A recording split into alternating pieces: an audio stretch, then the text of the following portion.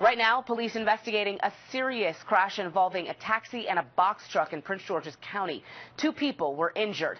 Jeanette Reyes live in Lanham with an update on the cleanup effort now underway. Jeanette? People are in the hospital after a serious head-on collision here involving a box truck and a taxi cab. Take a look here behind me. You can see the debris field just stretches over 20 yards here. Now, we're along 4th Street and Cipriano Road, and you can see a dark streak of fuel that spilled as well. It's giving off a strong odor. Now, a hazmat team has been called out to clean that up. But also, take a look at the front of this taxi cab. It's The damage is just significant, and it's also significant on the front end of that truck as well.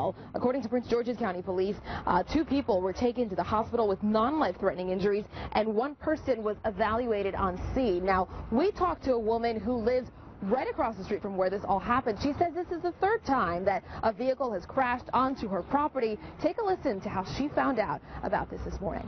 As soon as I came out from the building, I just saw the test. I was like, oh my God, what is going on? All I heard was my uncle screaming that uh, we should get out the house because it was an accident. Now, the manager of the company that owns the truck tells me police told him they're looking into the possibility that the driver of the cab may have fallen asleep at the wheel.